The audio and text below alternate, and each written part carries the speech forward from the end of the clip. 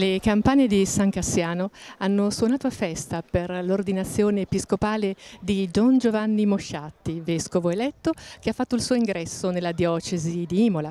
Oggi un momento di festa per la comunità imolese.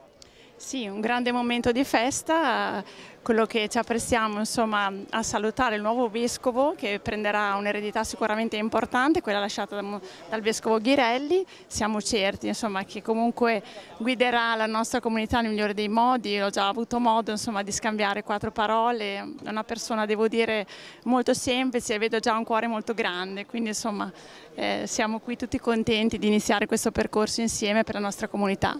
Cosa si aspetta dalla comunità imolese?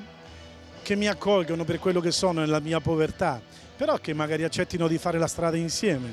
Può darsi che c'è qualcosa di buono da vedere. Ha voluto proprio lei questo momento di festa in quanto è appassionato di musica?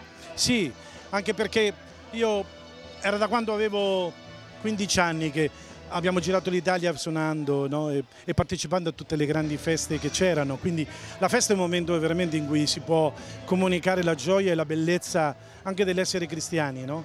ed è per questo che con i ragazzi con che stanno suonando adesso, che da tanti anni che suoniamo insieme, abbiamo deciso di chiudere in bellezza questa grande festa, offrendo a tutti un'occasione di gusto della vita e di bellezza per le cose grandi.